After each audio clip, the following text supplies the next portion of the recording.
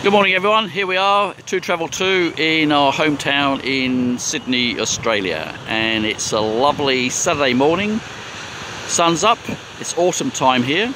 And as you can see the uh, surf's up as well. And uh, the lifesavers are just putting out the areas of where to swim.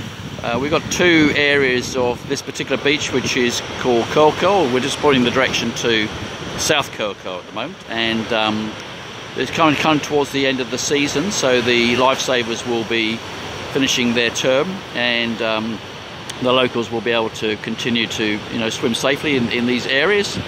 And the surf's absolutely roaring out there today, and um, whole pods of surfers enjoying the amazing um, high high surf today.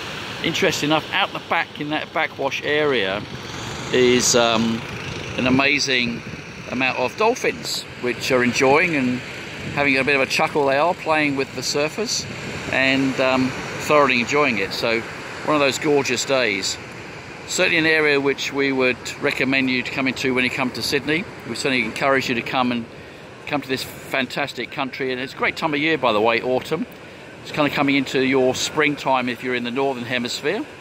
Not too hot clear skies not too humid here in particular Sydney make your way down to uh, say maybe staying in the city centre itself.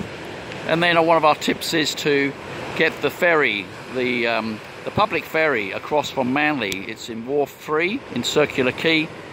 Take your way down there. By the way you can use bank card to be able to uh, just swipe the areas come through nice and cleanly not having to buy pre-tickets etc it's about a 35 minute ride. You get to see the harbour get to see the harbour bridge and the Opera House and all the iconics.